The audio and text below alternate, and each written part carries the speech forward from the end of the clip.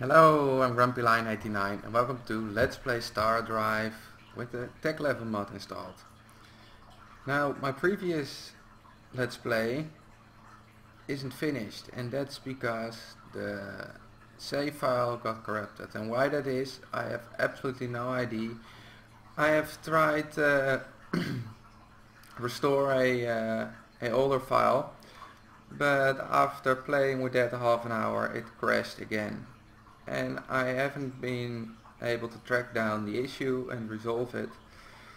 But the other thing I could do was restore a save from uh, 15 episodes ago, but I wouldn't uh, think that uh, that that is a solution because I was probably ended up uh, very different than the last episode I recorded and uploaded uh, finished. So I decided, because it's such a gr great game and I found another great mod, there are a lot of great mods out there and the tech level mod is uh, great as well. I've played with it a bit and it's very different. You uh, can find different anomalies, there are a whole bunch of new tech and it's just great.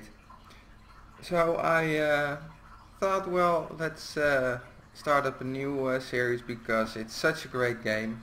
One of my favorites actually. I absolutely love uh, space strategy games and uh,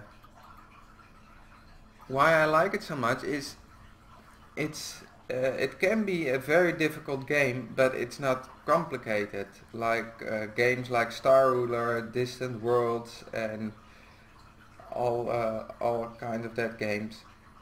Those can be very complicated and uh, difficult to uh, wrap your head around. And with this, I don't have that. I actually have a perfectly good clue what's going on. Not to pretend that I'm very good at it, but I know what's going on. Uh, let's see, what are we going to play at? Well, maybe ju just as the humans, why not? I like those uh, those ship layouts. And what are we going to change here? I don't want the prototype flagship. And let's move meticulous. Well, let's remove everything and then I'm going to talk as how I am going to play this. Last episode, my last game, which I didn't record, and I've lost by the way, I've played on hard and I know a lot of players uh, think that's too easy, but for me it's hard enough and I can win it with a bit of luck. But I lost because I got focused on my military and because of that uh, whole, all other stuff was lacking. So I'm I had a great fleet but the tech level from that of that fleet was too low. So this game I will try a different approach and the first uh, the first uh, couple of researches are going to be to increase our science output as uh, as big as possible and to increase our population because that helps with a lot of stuff and we have to be able to fund to fund that so we have to increase our uh, income as well. So that said um, let's do uh, let's start with smart because of the 35% research bonus and efficient metabolism is tempting but not really for the goal you're going for. Fertile is uh, very helpful as well. Alluring, no. Eagle-eyed, no.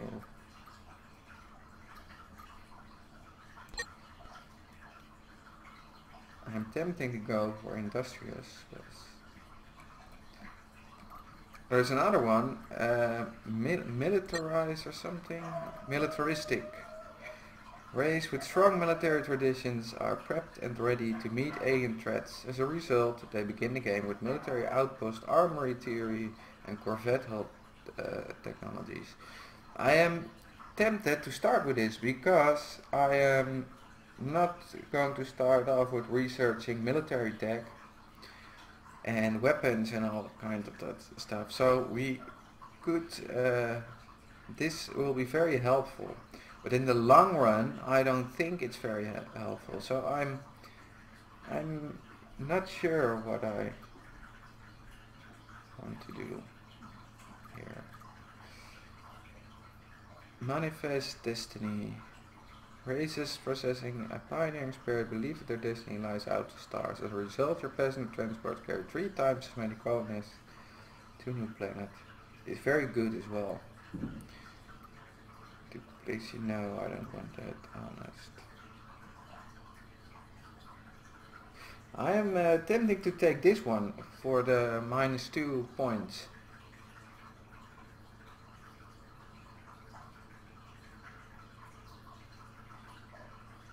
Let's see how we uh, how things work out. I think I'm going to go for industrious and 20% overall increase uh, to ship module hit points is good as well but I want to have something for our, for our income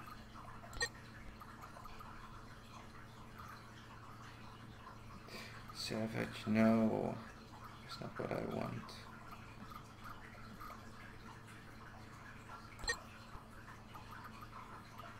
Mercantile.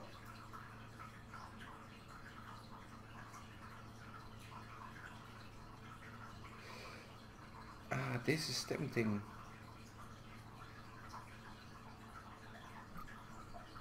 But we need another point for that.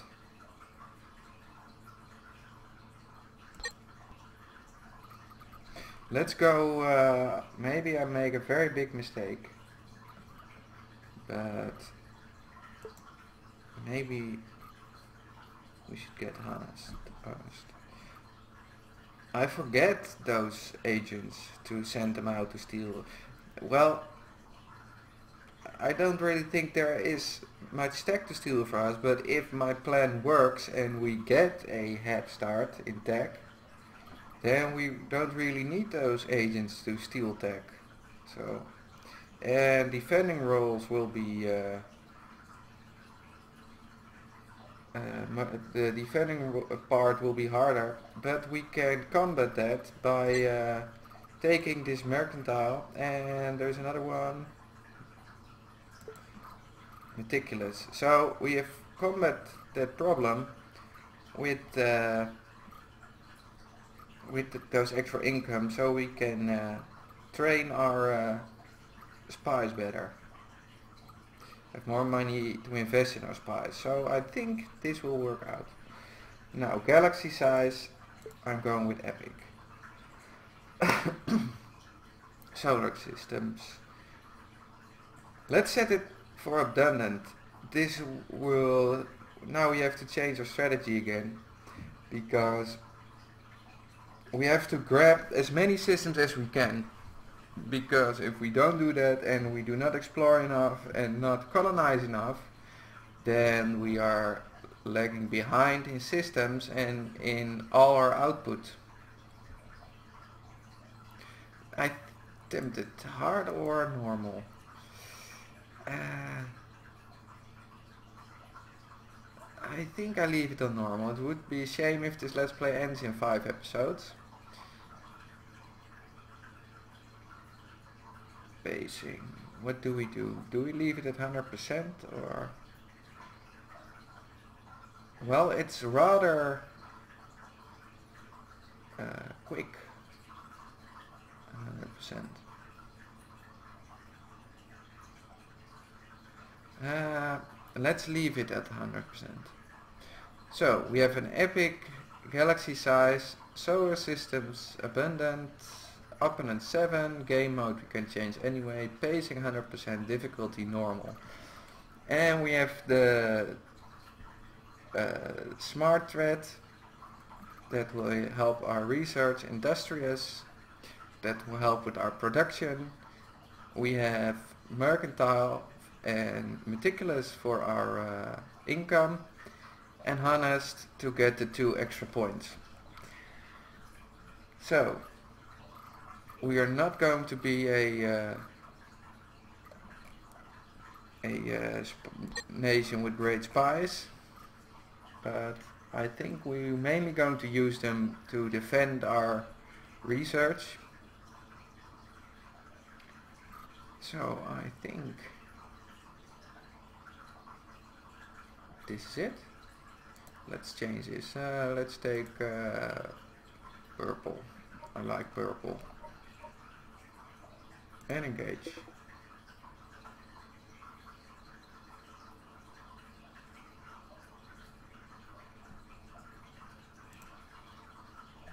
and pause. Where are we?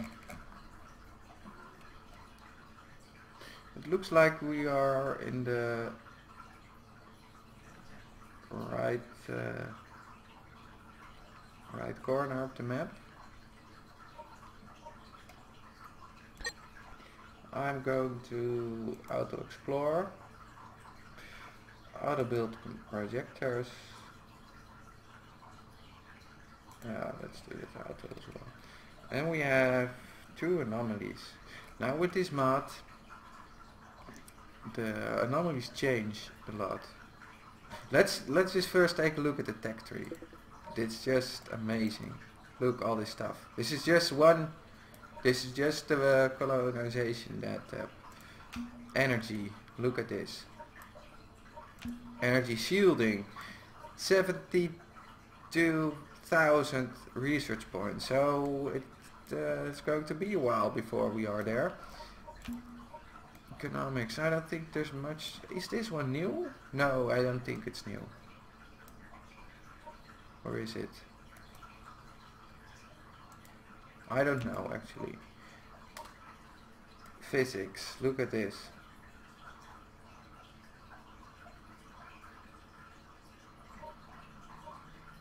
Amazing. We're going to get in all of this. And in contrary to my previous Let's Play series, I'm going to record the ship design. Because new players are going to learn from it, or at least I hope. And veteran players can laugh at me and uh, know uh, what I do wrong. And maybe uh, point me to it what I should do different in a design.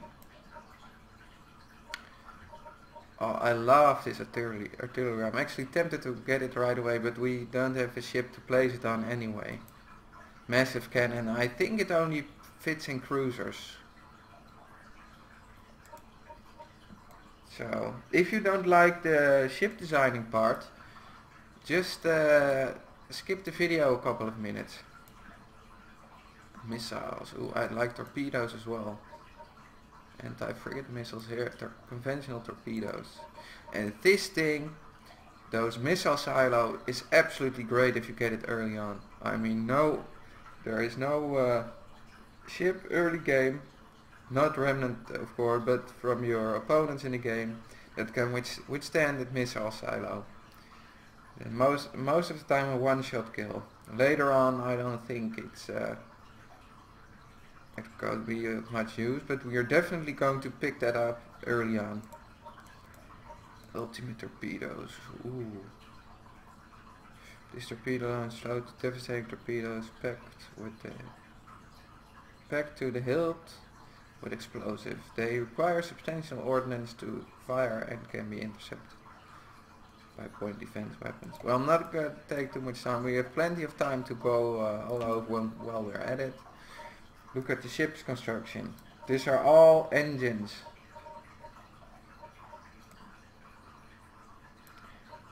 Advanced Titan engines.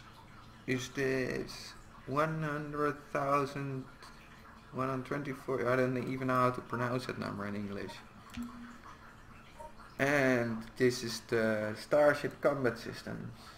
Here are all types of uh, ordnance storage, all different types of armor. I just love all this. It's fantastic. Good. Uh, let's first uh, make sure our uh, we have one colony ship here. Do we have any planets? We have no, I'm not going to pick this up. I think, as a rule of thumb, a planet need to have at least uh, a max population of 5 if you want to colonize it. Anything below, I don't want, I think.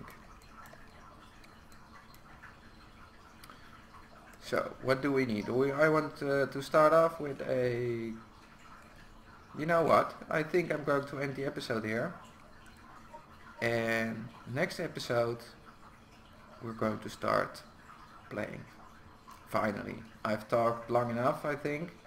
But you get the idea what I want to do now. And how I want to play this game.